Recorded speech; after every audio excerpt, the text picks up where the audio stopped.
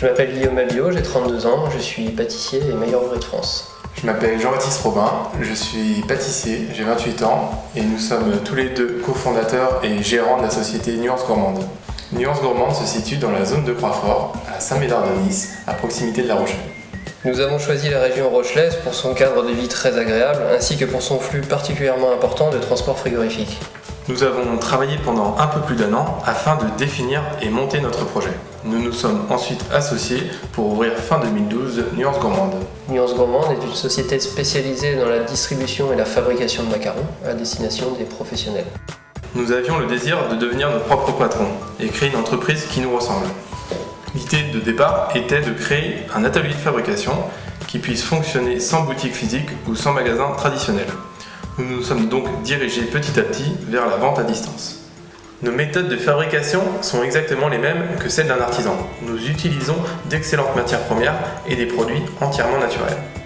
Nous avons créé des gammes de parfums de macarons, des parfums classiques, framboise, caramel, chocolat, des parfums originaux, des sucrés salés, des parfums d'enfance, des cocktails, morito, sangria, ainsi qu'une gamme éphémère qui change tous les mois. Et nous développons petit à petit toute cette famille. Nous avions à la création de la société 16 parfums de macarons, nous sommes passés en 2014 à 48 parfums de macarons et en 2015 à 72 parfums. En 2016, nous devrions disposer de plus de 100 parfums de macarons. C'est une vraie volonté de proposer beaucoup de parfums, cela nous permet de dynamiser les ventes et de renouveler les gammes de nos clients très régulièrement. Nous travaillons à 90% avec les professionnels. Nous fournissons des hôtels, des restaurants, des boulangers pâtissiers et des distributeurs partout en Europe.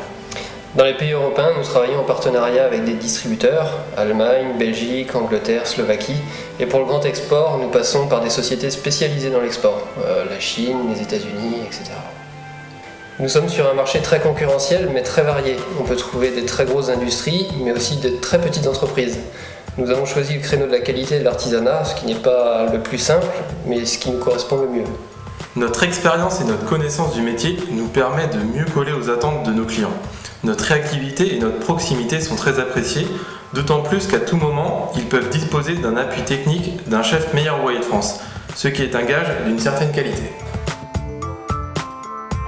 Nous avons trois objectifs. Euh, premièrement, développer le marché du macaron en France, en Europe et à l'étranger. On est toujours à la recherche de partenaires pour euh, envoyer nos produits à des endroits qu'on n'envoie pas aux gens aujourd'hui. Pour les particuliers, on va créer d'ici la fin d'année une boutique en ligne. On pourra envoyer nos macarons partout en France. Et ensuite, on a un gros projet qui est plus important encore, c'est de, construire notre vrai bâtiment à nous, euh, qui nous correspond, où on pourrait encore avoir d'autres possibilités de fabrication. Le prix des trophées de l'artisanat 2015 est une vraie récompense, euh, c'est le fruit de notre travail et c'est important pour nous, ça va nous apporter une belle image et une belle communication vis-à-vis -vis de la région, voire plus.